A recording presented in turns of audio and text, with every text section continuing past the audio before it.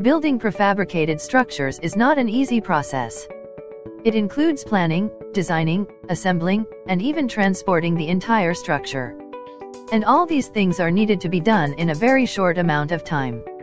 Designing is a very crucial part of this whole process. It helps the manufacturing team to know what to do and be very certain of the end result.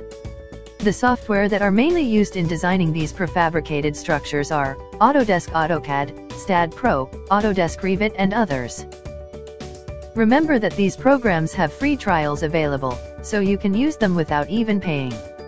If you are looking for completely free software options, then you can have Blender and OpenSCAD. We recommend you to start with the free options, and then go for the premium ones. We have also provided the links to buy and download all these programs, in the description below. If you are new to this channel, don't forget to subscribe to this channel. Thanks for watching.